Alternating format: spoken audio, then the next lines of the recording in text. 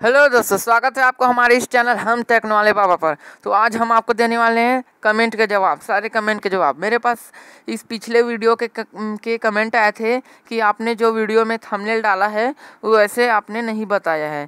कई लोगों ने लिखा है, जो आपने लिखा है, वो बताया नहीं है ऐसे करके। तो आज हम बताने वाले हैं कि हमने उस वीडियो में क्या बताया था। सबसे पहले ये बताते हैं इस वीडियो में हमने क्या बताया था? उस वीडियो का हमारा थंबनेल था, डाटा कनेक्शन कैसे चेंज करें, ठीक है? और सभी का कमेंट था कि आपने चेंज करके नहीं दिखाया। तो मैं ये बताने वाला हूँ दोस्तों कि उसमें चेंज होता ही नहीं है। इस ऐसा बताया मैंने उस वीडियो में कि उसमें चेंज होता ही नहीं, क्योंकि इसमें सिस्टम ही नहीं दिया उस इस मोबाइल में। सरकारी मोबाइल में ऐसा सिस्टम नहीं दिया कि जियो जियो के अलावे आप दूसरे में ऐसे कर सको। सिस्टम नहीं दिया। जब तक जो मिला वाला जियो सिम है, जो आपको मिला है जियो सिम वहाँ से मोबाइल में मिला है जियो सिम। अगर वो जियो सिम अगर जब तक आपके मोबाइल में है, तब तक उस सिम का नेट ऑन रहेगा चाहे आप सिम स्लॉट टू में डालो या सिम स्लॉट वन में डालो, ये सब चीज़ें मैंने पिछले वीडियो में बनाया। आप देख सकते हैं, अगर आप नहीं देखे होगे तो। तो आगे मैं भी बताने वाला हूँ आपको कमेंट की जवाब। तो चलते हैं। तो दोस्तों, जैसा कि आपने थंबनेल में पढ़ा था, कमेंट का जवाब। तो और उससे पहले मैं ये बताना चाहता हूँ कि मैंने पिछले वीडियो में बनाया, डाटा कनेक्शन चेंज नहीं होता, ये बताया है। आप देख सकते हैं, मैं स्क्रीन में दिख रहा है, ये सेटिंग चालू किया हूँ ये, वही मोबाइल है सरकारी वाला। आप देख सकते हैं, सिम स्लॉट टू का मेरा नेट ऑन नहीं है।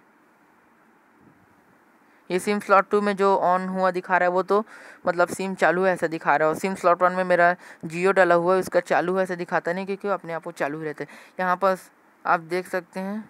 एक मिनट। हाँ यहाँ पर आप देखिए सेलुलर डाटा लिखा हुआ है। सेलुलर डाटा एक मिनट। यहाँ पर देखिए सेलुलर डाटा सेलुलर डाटा लिखा हुआ है। अगर इसको हम टच करें तो देखिए ऑप्शन ही नहीं आता। आप देख रहे होंगे ऐसा ऐसा कुछ चमक रहा है। मैं इसको टच कर रहा हूँ ना, इसको यहाँ यहाँ कहीं टच कर रहा हूँ। यहाँ कहीं अगर आप टच करोगे, यहाँ कहीं तो देखिए ये कुछ निकल ही नहीं रहा है। अगर यहाँ, अगर टच करिए आप यहाँ, तब ये निकलेगा। देखिए कॉल में टच करते हैं। तब निकलेगा आज के एवरी टाइम जियो और आइडिया तब मैंने आज के एवरी टाइम के हर बार पूछा है। ये सब चीज़ मैंने पिछले वीडियो में बनाया है, बताया है तो चलिए मैं आपको बताता हूँ कमेंट के जवाब। भाइयों और बहनों, जो भी आप इस वीडियो को देख रहे हैं, वो सुनिए। आपने मेरे पास कमेंट किया था पिछले वीडियो में, जो आपने बताया है मतलब जो लिखा है, वो बताया नहीं। भाई, क्योंकि उसमें सिस्टम दिया ही नहीं है डाटा कनेक्शन चेंज हो ही नहीं सकता। और लाखों लोग देखो सर्च कर रहे हैं यूट्यूब में कि डाटा कनेक्शन कैसे चेंज करे, उस मोबाइल का डाटा कनेक्शन कैसे चेंज करे तो मैं कैसे बताऊँ, उसमें चेंज होता ही नहीं है। तो आप ये बोल रहे हैं कि होता नहीं है चेंज तो वीडियो आप डाले क्यों? ठीक है वीडियो आप डाले क्यों, ये बोलोगे। तो मैं उस वीडियो को क्यों डाला हूँ, बताता हूँ, देखिए, पहले हम यूट्यूब में चलते हैं। रुकिए, मेरा यूट्यूब खोल रहा है अभी।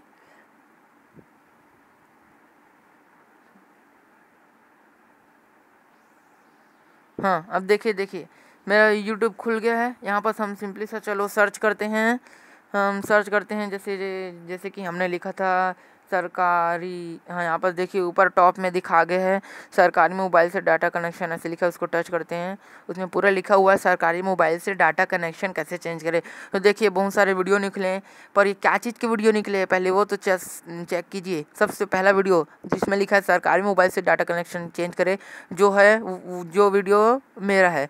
मतलब कि ये वीडियो जो, जिसमें लिखा हुआ है, सरकारी मोबाइल से डाटा कनेक्शन कैसे चेंज करे, वो वाला वीडियो मेरा वीडियो है। उस उस पर कमेंट आए थे आपके, उसी के के बारे में ये वीडियो बना रहा हूँ। उसके नीचे देखिए, ऐसा एक भी वीडियो नहीं देखेंगे जो इस मोबाइल के बारे में बताया है।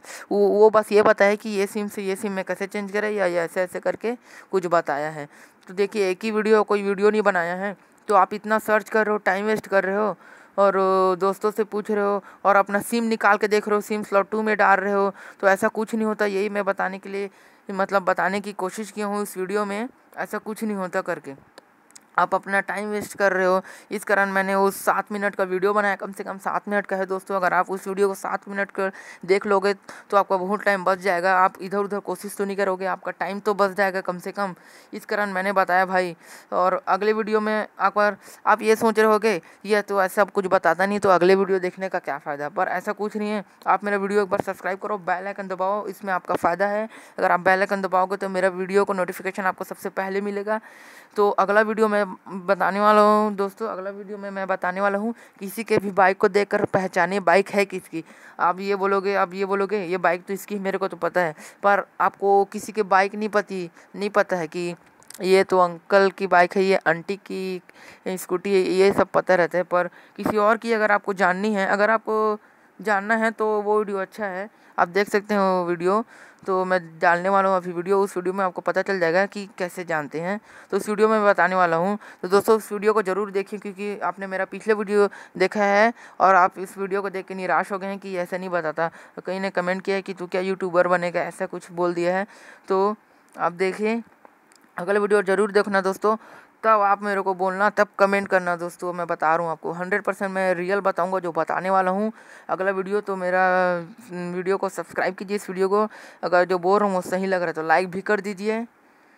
आगे आपकी मर्ज़ी। जय हिंद, जय भारत। तो आज के लिए बस बस इतना ही। Tata bye bye